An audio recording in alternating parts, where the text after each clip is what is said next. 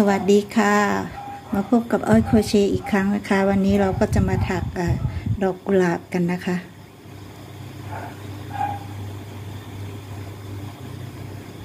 อุปกรณ์เราก็จะมีไหมโครเชต์ซัมเมอร์ช็อป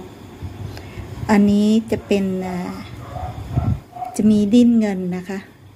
แบบมีดิ้นเงินแล้วก็อีกแบบหนึ่งก็จะไม่มีดิ้นนะคะ ก็จะใช้สองเส้น อุปกรณ์ก็จะมีกันไกเข็มโคเช เข็มโคเช อ้อยโคเชก็จะใช้เบอร์ เบอร์หนึ่งจุดเก้าค่ะ1.9มิล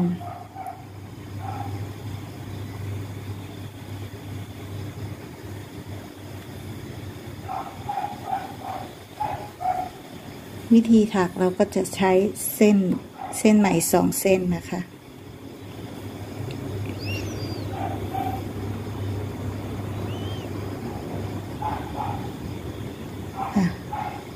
ทำได้เป็นวงกลมแล้วก็เราก็ถักโซ่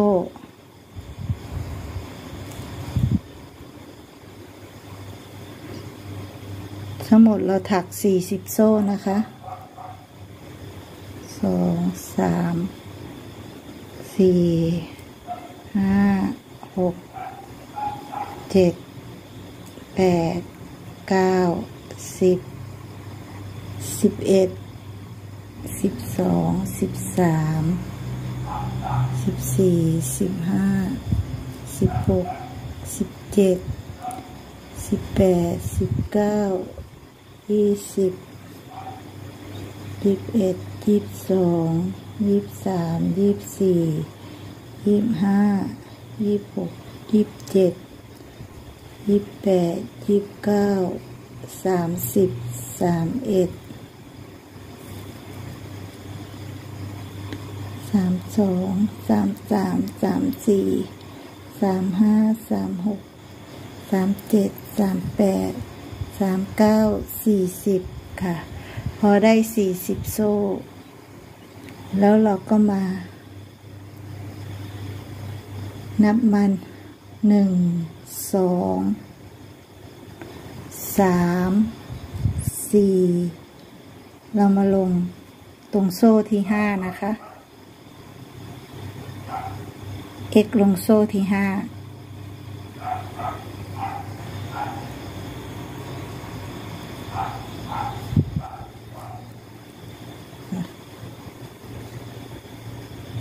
พอแล้ว เราก็ถักโซ่สาม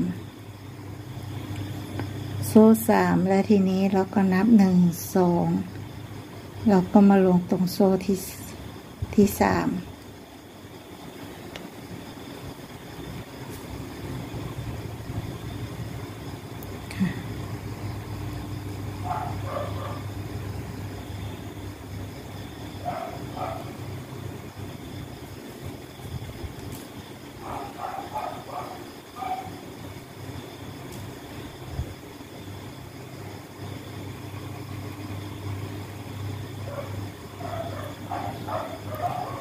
แล้วก็ถักโซ่สามหนึ่งสองก็มาลงโซ่ที่สามเหมือนกัน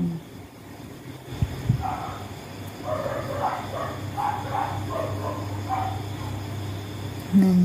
สองสาม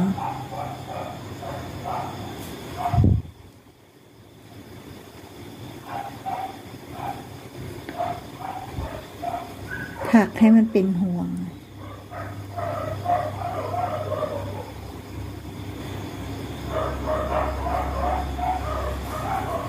อย่างนี้นะคะ หนึ่ง สอง สาม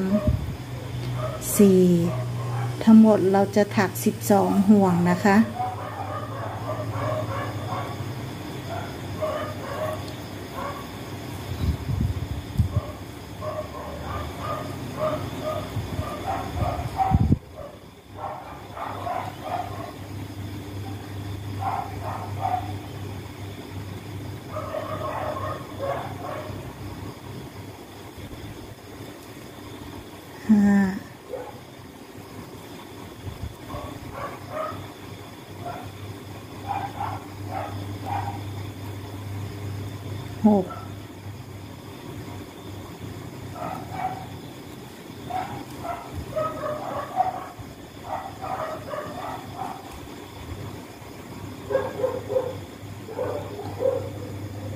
เจ็ด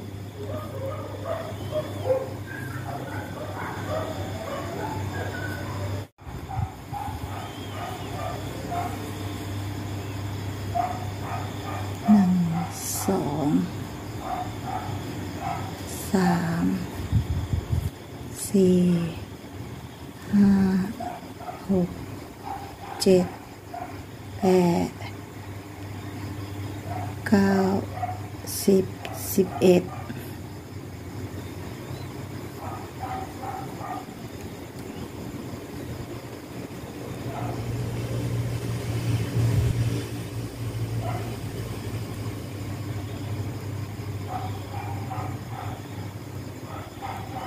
สิบสอง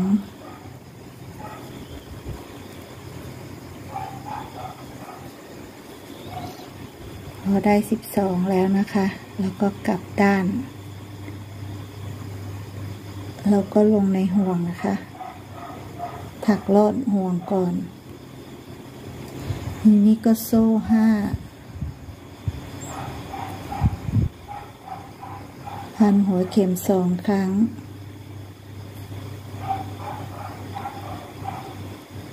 ถักทีละ เกี่ยวทีละสองเส้นนะคะ พันหัวเข็มสองครั้งก็ถัก F ดับเบิล F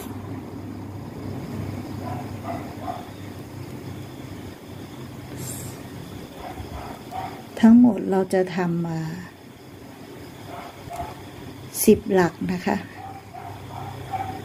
เราก็ยังไม่ยังไม่เกี่ยวหมดนะคะ เราก็จะเกี่ยวไว้อย่างนี้ก่อน เกี่ยวมาสองเส้น แล้วก็ เอาอีกสองเส้นค่ะสี่สี่หลักมันก็จะเหลือเสือเหลือเหลือได้ตรงเนี้ยสี่สี่เส้นนะคะหนึ่งสองสามสี่ถ้าห้าหลักมันก็จะเหลือห้าห้าเส้นนะคะ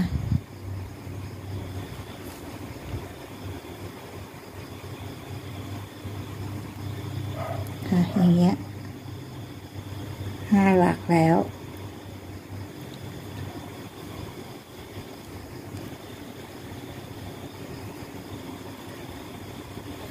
แล้วก็เกี่ยวอีกทีหนึ่งทีนี้ก็จะเหลือหกหกหลักก็จะเหลือหก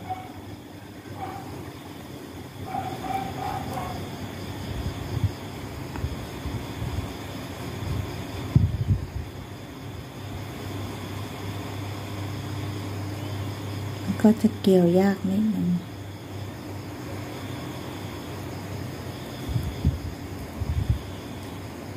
สองสี่หกหลักที่เจ็ด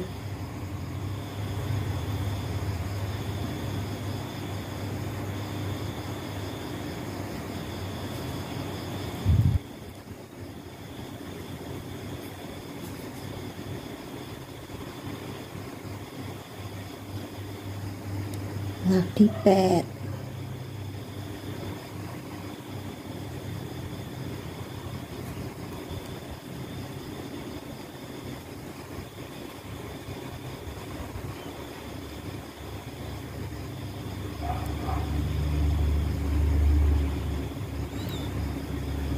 หลักที่เก้า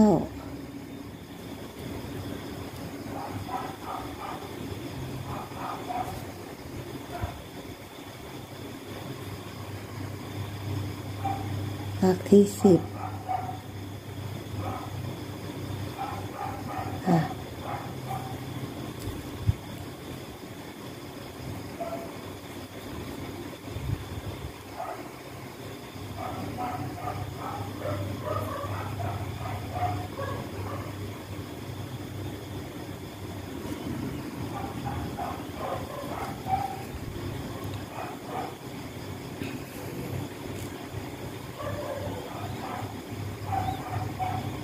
อเสร็จแล้วเราก็เกี่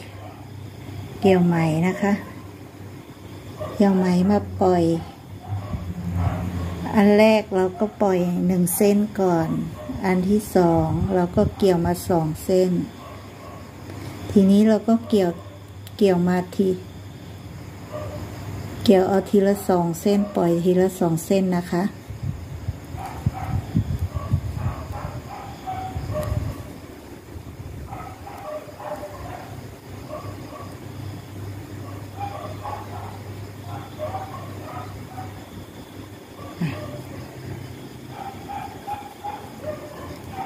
ก็จะได้ลักษณะแบบนี้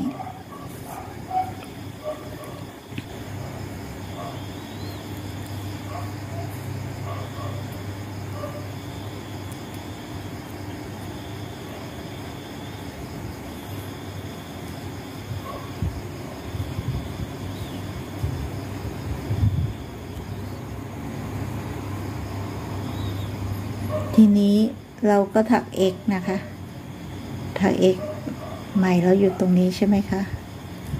เราก็ลงตรงระหว่าง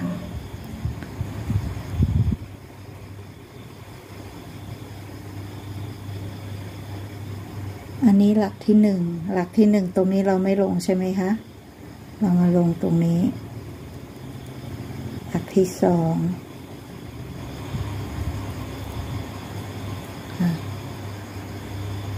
ก็ถักอีกลงไปเลย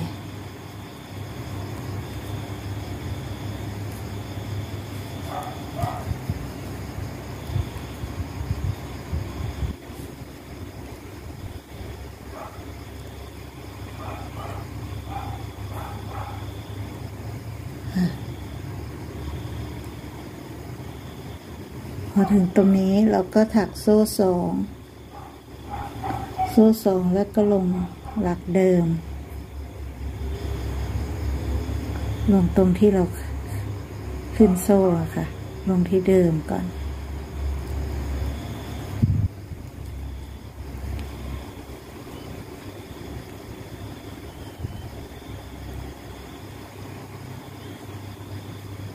ต่อไปเราก็ถักเอกต่อไป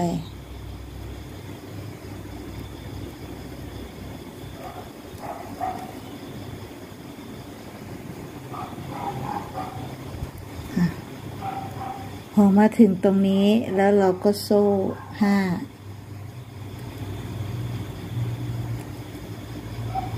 โซ่ห้าแล้วก็ ลงตรงนี้นะคะ ลงตรงช่องเนี่ย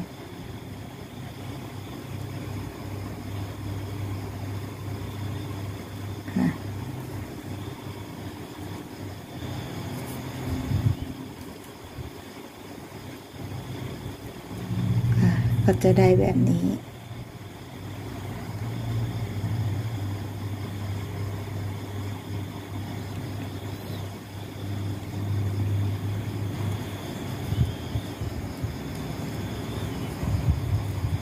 ทีนี้ต่อไป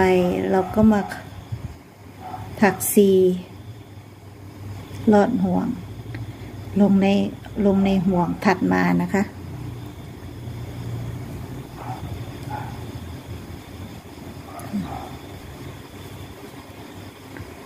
ร็จแล้วก็โซ่ห้าหนึ่งสองสามสี่ห้าแล้วก็พันหัวเข็มสองครั้งก็ลง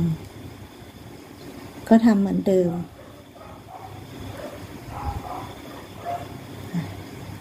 เหลือสอง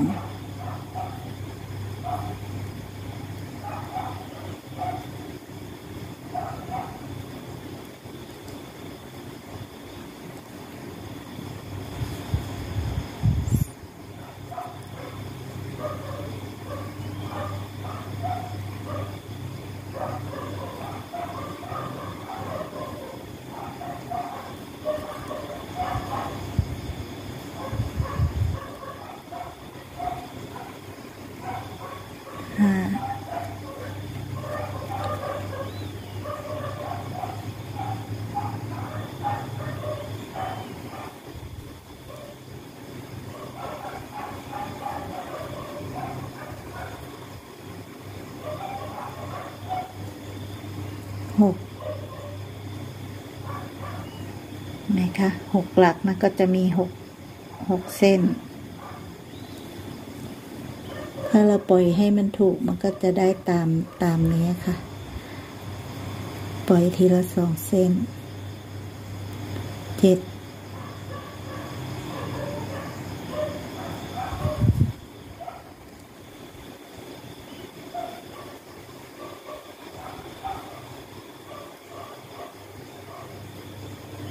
แปด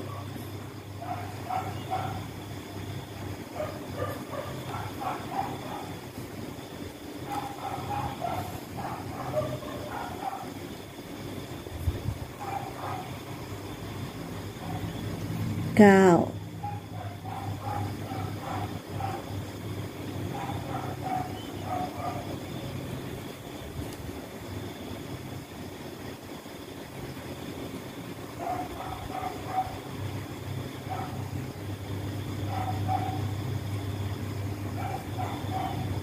สิบ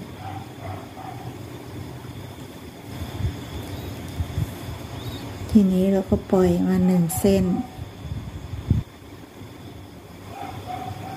ปล่อยหนึ่งเส้นแล้วเราก็เกี่ยวใหมมาปล่อยสองเส้น แล้วก็ปล่อยอีกสองเส้น ครั้งแรกเราปล่อยหนึ่งเส้น ครั้งที่สองเราปล่อยสองเอครั้งต่อมาเราก็ปล่อยสองเส้น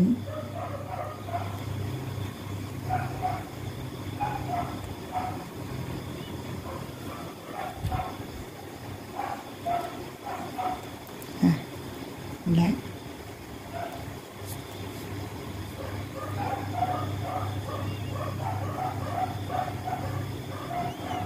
ทีนี้ก็ถักอีก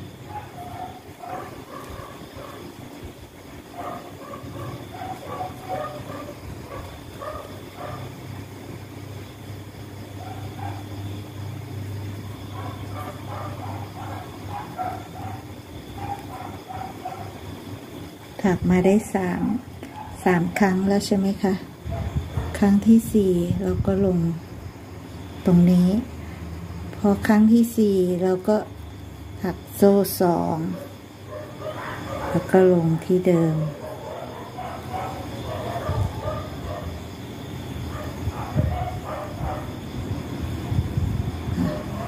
อันนี้ก็ถักเอกไป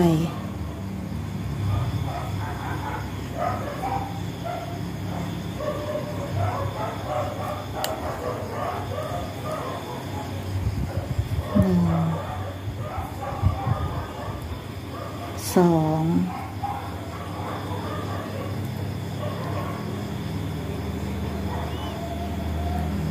สาม โอ้ยสี่เห็นไหมคะ และ ทีนี้ก็โซ่ห้า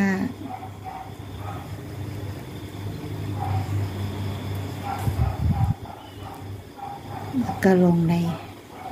ในห่วงเดิม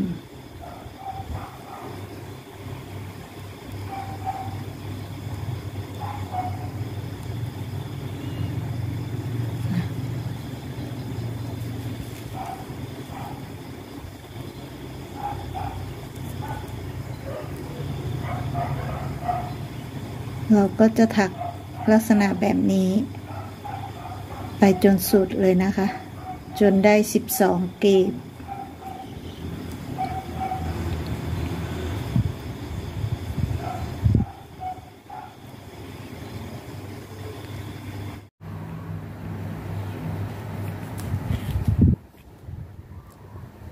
ทีนี้เราก็มาจะมาจบแถวที่เออกรีบที่สิบสองนะคะ สอง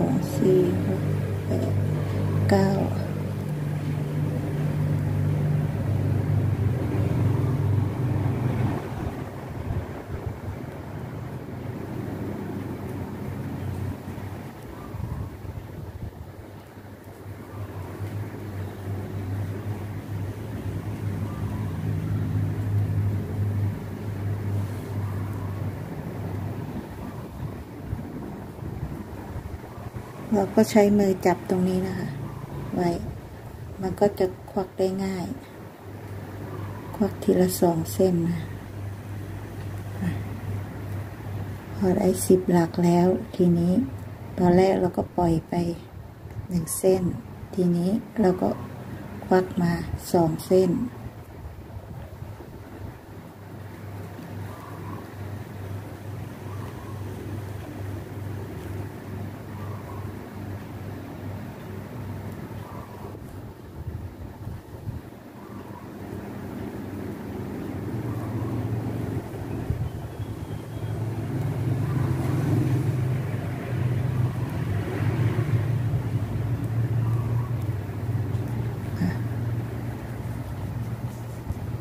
งหมดเราก็จะควักสิบครั้ง ทีนี้ถักเอก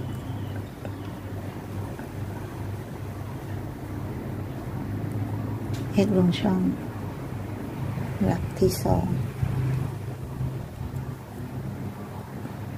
แล้วก็เอกหลักถัดมา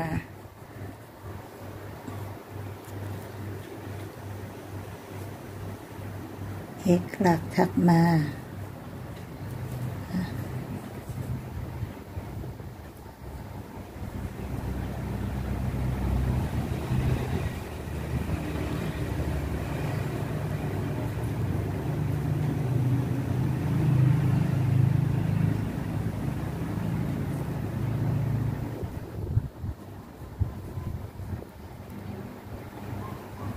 ทีนี้ก็โซ่สอง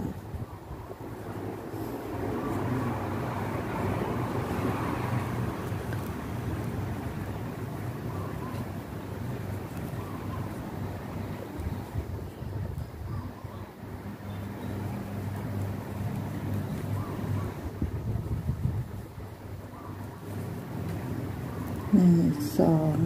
สามสี่ห้าค่ะก ลงตรงรูนี้เลยค่ะ ตรงช่อง เสร็จแล้วเราก็ล็อกได้นะคะ ล็อกได้แล้วก็ตัดไหม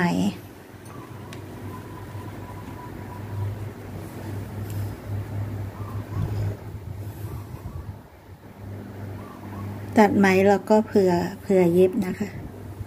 เผื่อเย็บประกอบดอก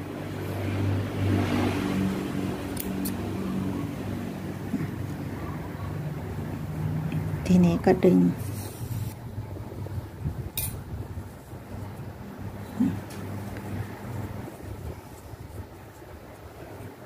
หนึ่ง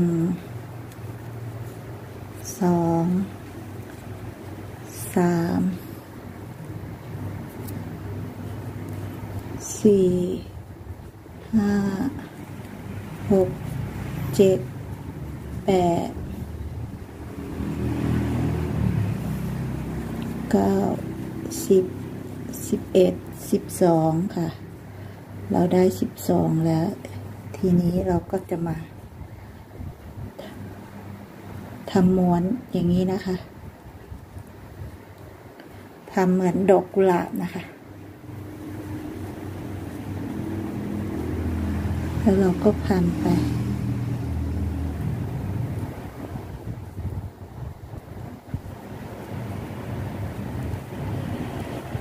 อย่างเงี้ย แล้วเดี๋ยวเราก็เย็บนะคะ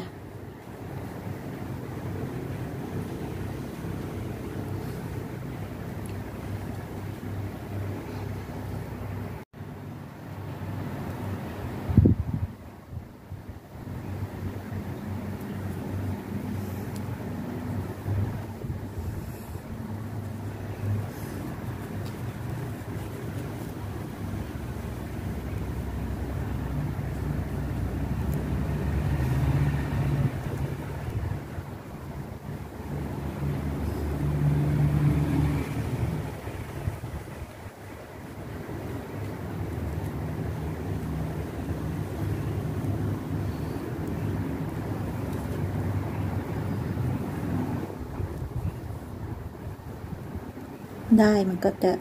ยากนิดนึงเพราะว่ามันงอ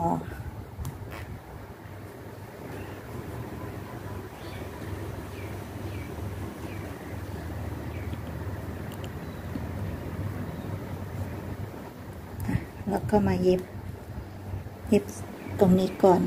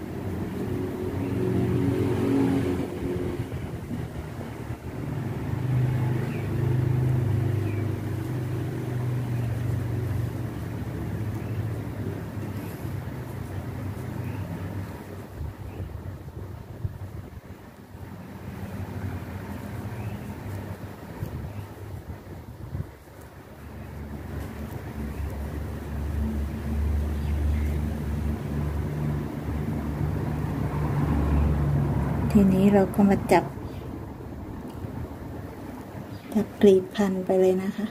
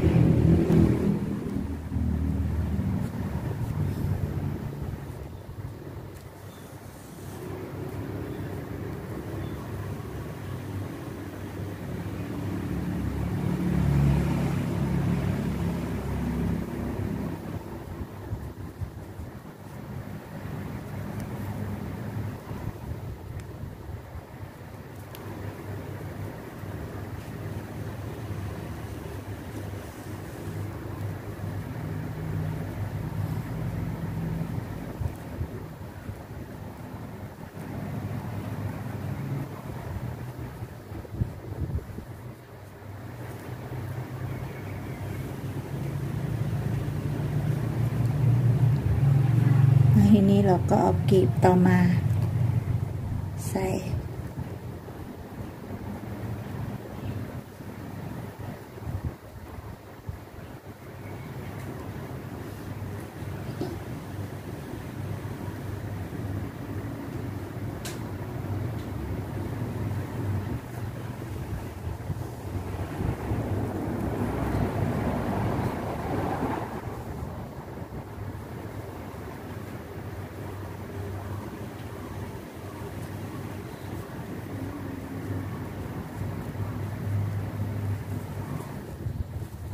ก็คือจะบังคับยากนิดนึงเพราะว่ามันงอ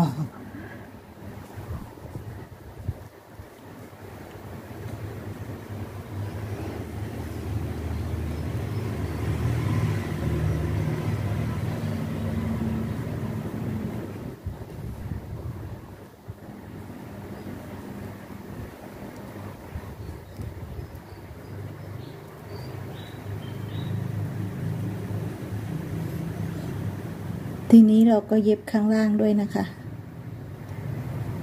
กันกันตรงนี้มันโผล่โผล่ขึ้นมา ตรงนี้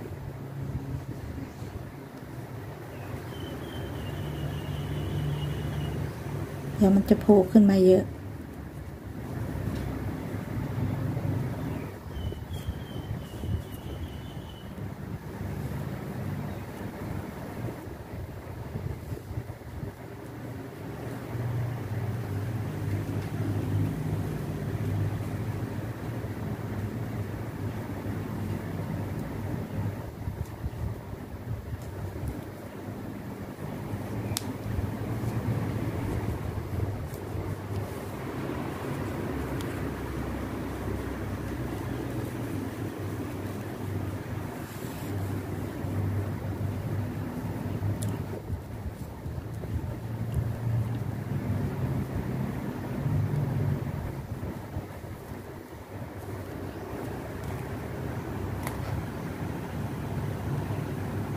ค่ะ แล้วก็จับกีบแล้วเราก็แต่ง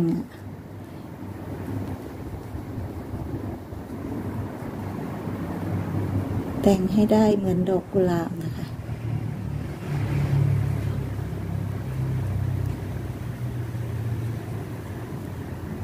ตรงนี้มันขึ้นมา เราก็เย็บไว้ก่อน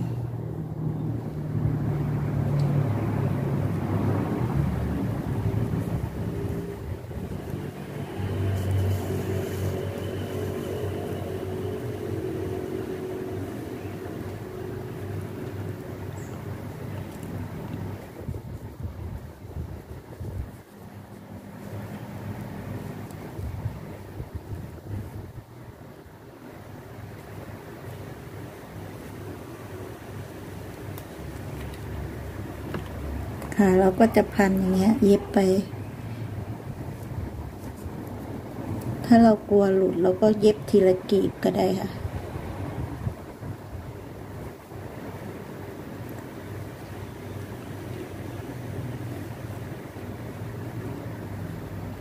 เราก็จับมาใส่ แล้วเราก็เย็บ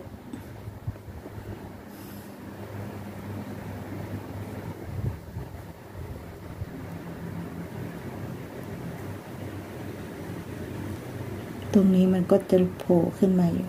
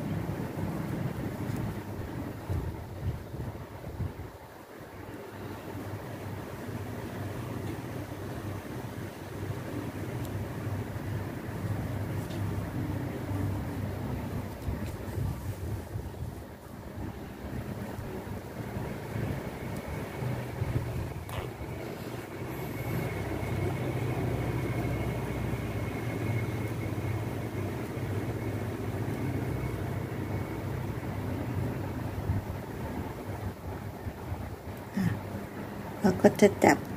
กีบอย่างนี้ไปนะคะ พันไป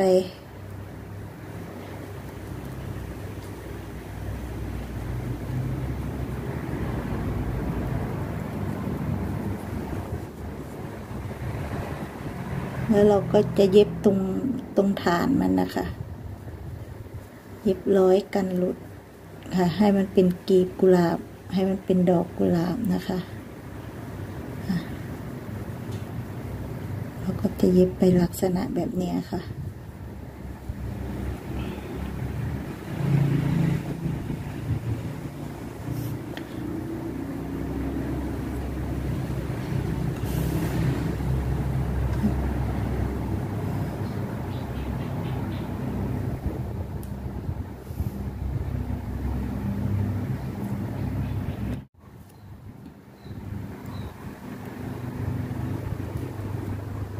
ค่ะเราก็ทำ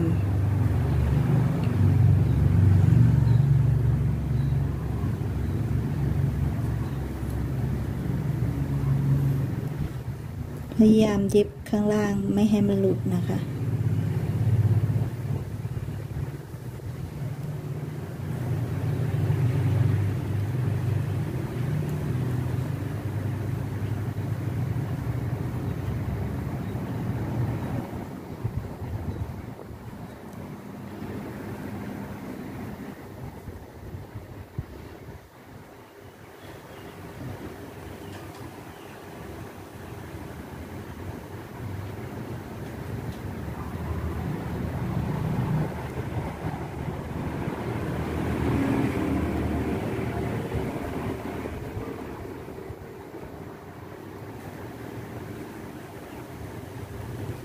เราก็ดูก่อนค่ะกีบมันกีบดอกเป็นไงมั่ง จัดให้มันพ้นออกมาจะได้สวยๆ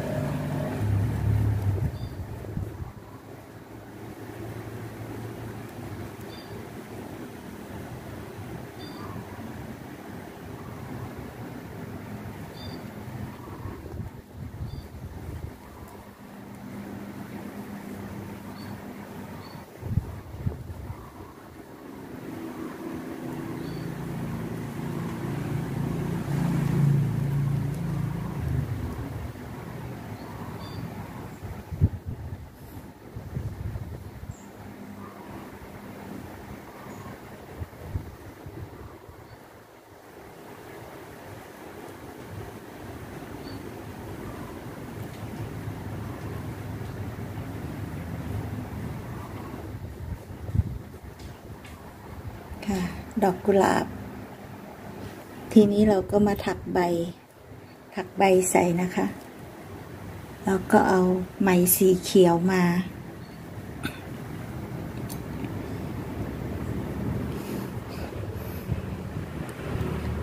ไหมสีเขียว เราจะใช้เข็ม เข็มเล็กลงนะคะ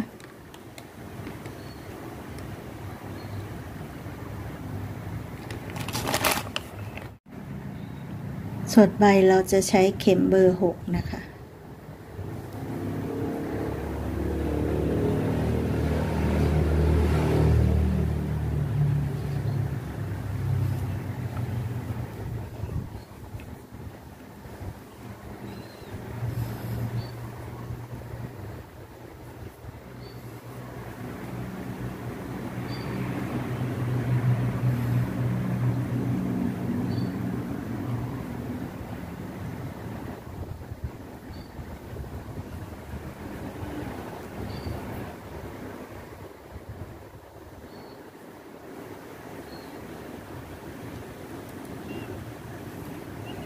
ถัก โซ่ไปสิบสองโซ่นะคะ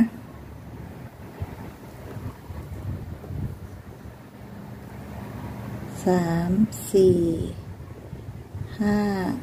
หก เจ็ด แปด เก้า สิบ สิบเอ็ด สิบสองค่ะ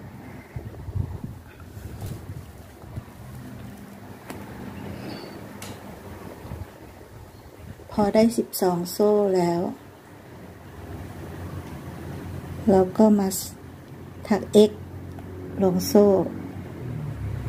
โซ่ถัดมาเนี่ยค่ะถัก x ลงไป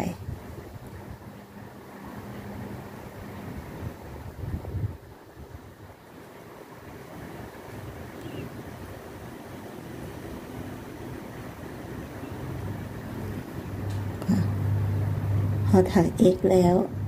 เราก็พันหัวเข็ม ถักที ถักทีก็คือพันหัวเข็มแล้วก็ควักได้ขึ้นมาแล้วเราก็รวบรวบก็คือ ลอดมาหมดเลยนะคะ แล้วก็ถัก F พันหัวเข็ม พันหัวเข็มแล้วก็ถัก F ค่ะอย่างเงี้ย แล้วก็ถัก F อีกครั้งหนึ่ง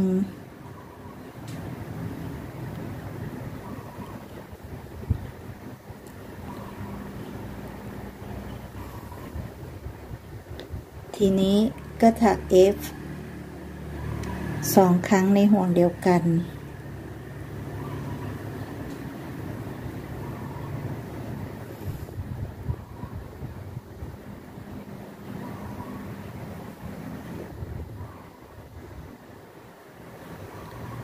อย่างเงี้ย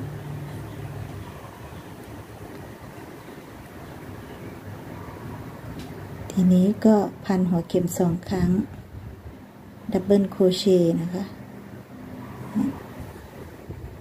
พันหัวเข็มสองครั้ง อะไรทีนี้แล้วก็ควักทีละสอง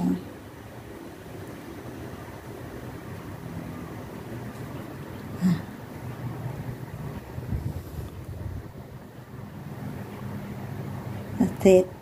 เราก็ถัก F ทำถักเหมือนฝั่งทางนี้นะคะ ถัก F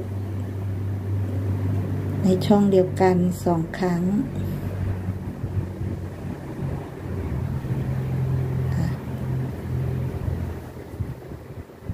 เสร็จแล้วก็ถัก F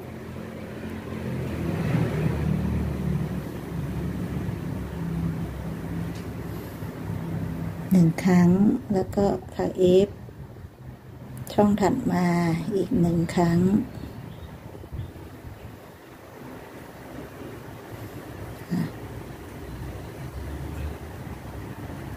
ทีนี้ก็ถักที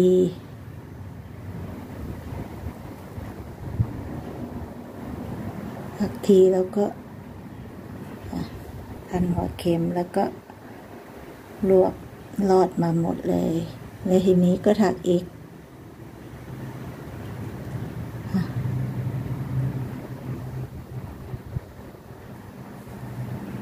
โซ่หนึ่งถัก x ลงโซ่ถัดมา แล้วก็โซ่หนึ่ง ถักเหมือนฝั่งทางนี้นะคะ ทีนี้ก็ถัก x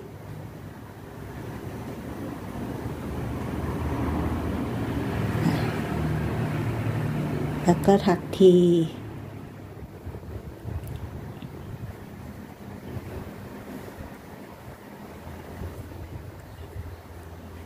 แล้วก็ถัก F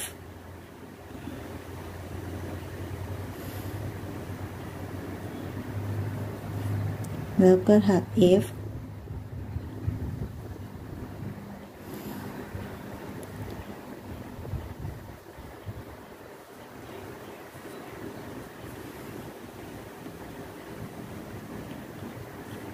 แล้วก็ถัก F ในโซ่เดียวกัน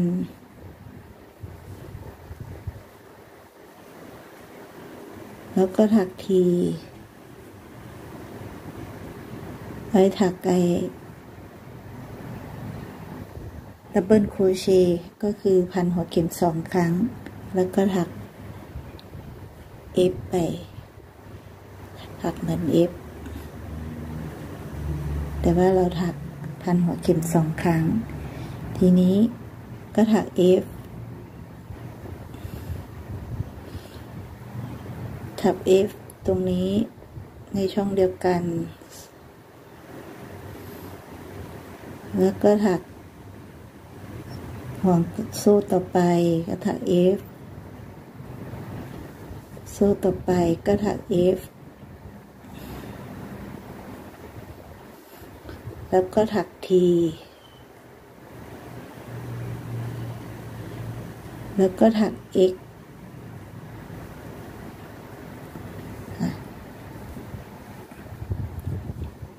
แล้วก็โซ่หนึ่งถัก X ตรงกลาง แล้วก็โซ่หนึ่งถัก x ทีนี้ก็ถัก x รอบเลยนะคะ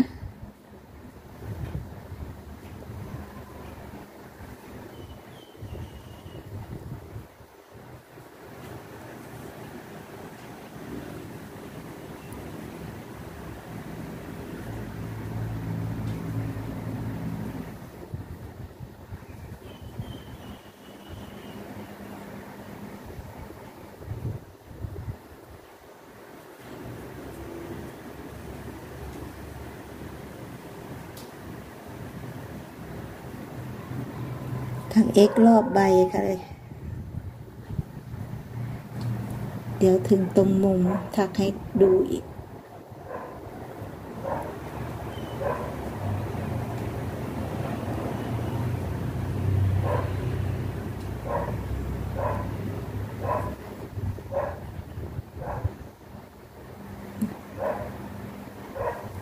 พอตรงมุมเราก็โซ่หนึ่งนะคะ ตรง ตรงตรงกลาง โซ่หนึ่งแล้วก็ถักเอกลงตรงกลาง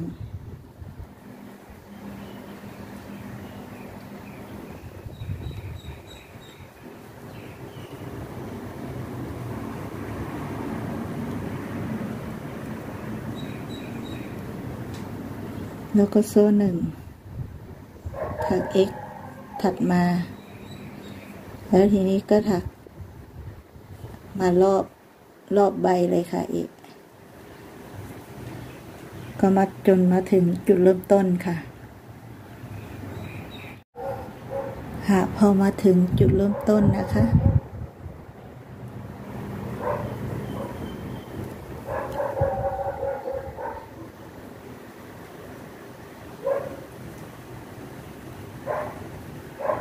พอมาถึงตรงนี้แล้วเราก็ดึงขึ้นมา แล้วเราก็จะถักตรงกลางเส้นนะคะ ให้มันดูสวยงาม เราก็เอาไหมลงตรงนี้เลยค่ะ เอ้ย เอาเข็ม แทงลงไปตรงนี้ แล้วเราก็จับตรงห่วงนี้นะคะ สอดเข็มเข้าไป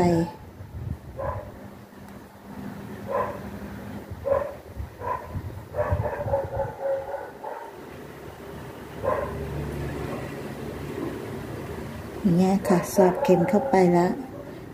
เข้าไปในห่วง เสร็จแล้วเราก็ดึงขึ้นมานะคะ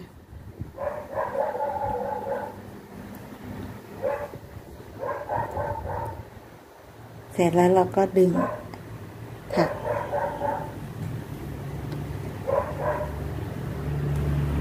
เอาใหม่นะคะทำให้ดูใหม่ แล้วก็เอานี่ลงไปมาเกี่ยวได้ตรงข้างล่าง กี่ยวแล้วก็ดึงขึ้นมา ดึงขึ้นมาแล้วเราก็ลอดห่วงเลยค่ะ อย่างเงี้ยค่ะ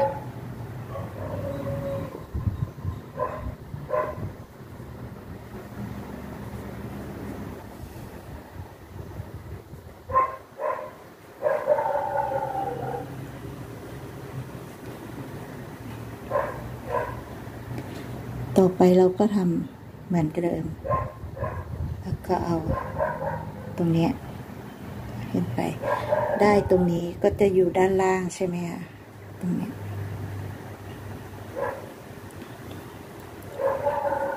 เสร็จแล้วเราก็เกี่ยวขึ้นมา เกี่ยวขึ้นมาแล้วก็โลดห่วง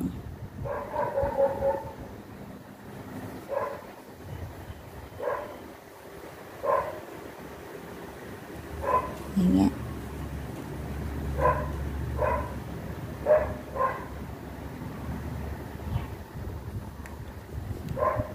เราก็จะทำขึ้นไปเรื่อยๆ จนสุดปลายใบเลยนะคะเนี่ย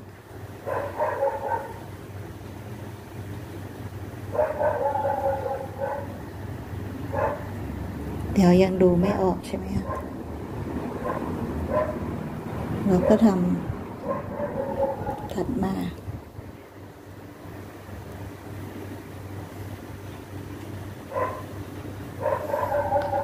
ตรงนี้เราก็ไม่ทำแน่นมากนะคะ ถ้าแน่นมากมันจะทำไม่สวย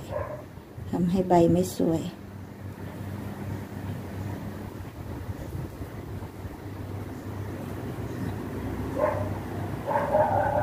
เนี่ยมันก็จะเป็นโซ่ มันก็จะปิดตรงนี้ใช่ไหมครับ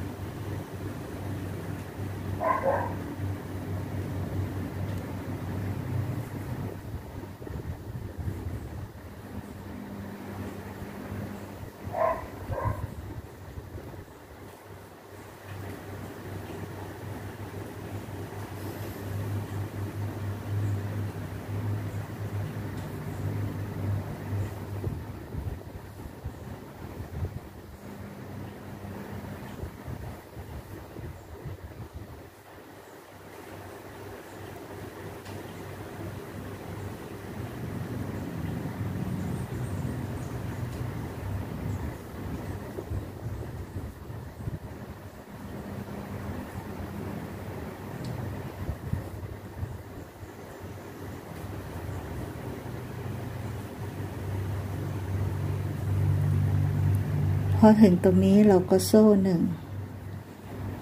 ถ้าเราจะทำก้านมันเราก็ทำทำลงมาเลยนะคะก้านอย่างเงี้ยถักก้าน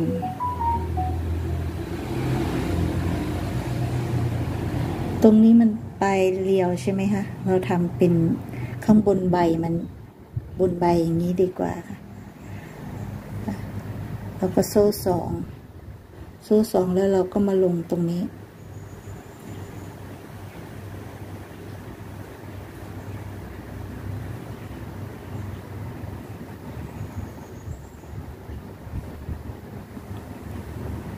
อ๋อลืมไปค่ะ ยังยังไม่ทำนะคะ เพราะว่า เพราะว่าต้องถักอีกรอบหนึ่งโซ่หนึ่งก่อนนะคะ โซ่หนึ่งแล้วเราก็ถัก x ถัก x ลงทุกโซ่อย่างเงี้ยแล้วก็โซ่หนึ่งถัก x อะ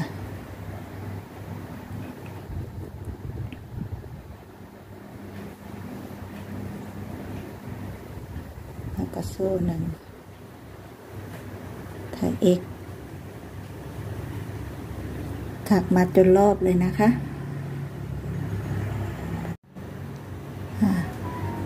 พอเราโซ่หนึ่งรอบแล้วใช่ไหมคะพอเราถัก x รอบแล้ว ทีนี้ x รอบที่สองเราก็จะโซ่หนึ่งก่อน โซ่หนึ่งก่อนแล้วเราก็ถัก x ลงทุกหลักเลยนะคะ แล้วก็ถัก x เอโซ่หนึ่งแล้วก็ถัก x ลงไป แล้วก็โซ่หนึ่ง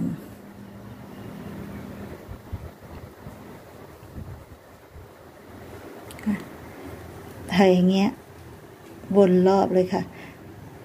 อ๋อ ตรงนี้ถ้าเราจะทำก้านนะคะ ถ้ามาถึงตรงนี้ เดี๋ยวค่อยมาดูกันอีกทีนะคะ พอเรามาทำมาถึงตรงนี้แล้ว ทีนี้เราจะทำก้านมันใช่ไหมคะ เราก็ลง โซ่หนึ่ง แล้วก็ลงตรงกลางเลยนะคะ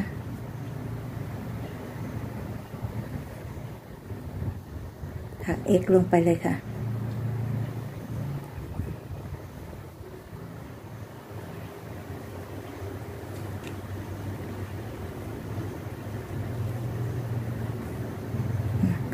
แล้วเราก็ถักโซ่ลงมาเลยค่ะ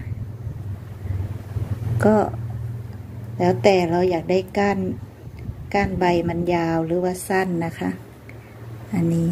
ก็จะทำแค่นี้ก่อนนะคะ พอเสร็จแล้วเราก็ถักเอกขึ้นมา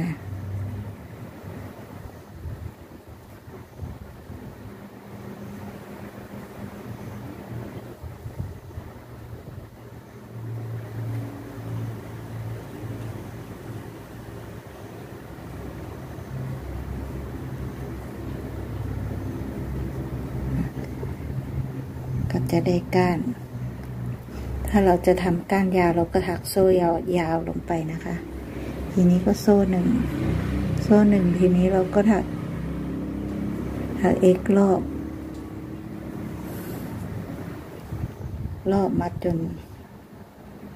จุดนี้นะคะ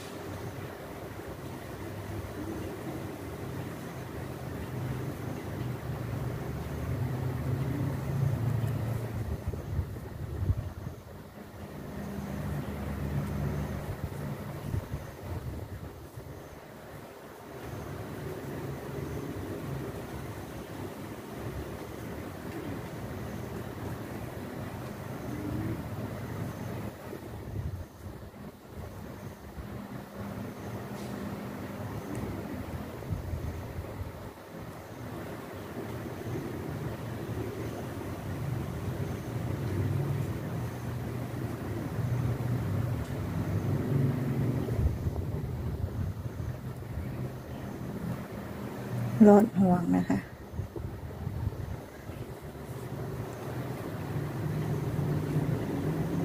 ก็ล็อกล็อกได้แล้วทีนี้เราก็ตัดใหม่เลยค่ะ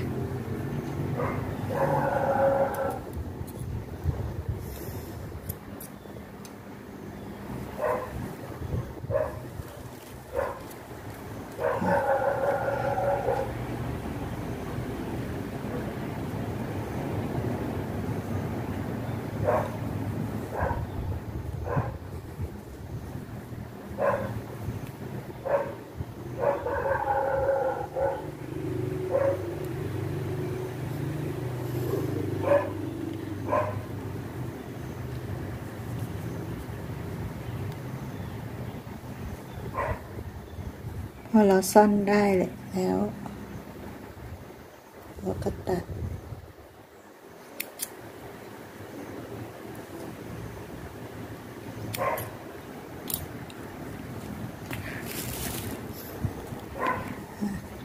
พอนั้นแล้วเราก็มาเย็บใส่ดอกกุหลาบของเรา เหมือนอย่างนี้นะคะ เนี่ย แล้วก็มาเย็บใส่ ข้างนี้เราก็จะเย็บใส่เหมือนกัน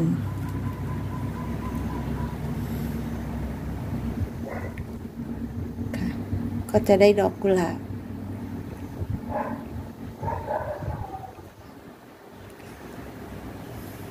เสร็จแล้วนะคะ ดอกกุหลาบ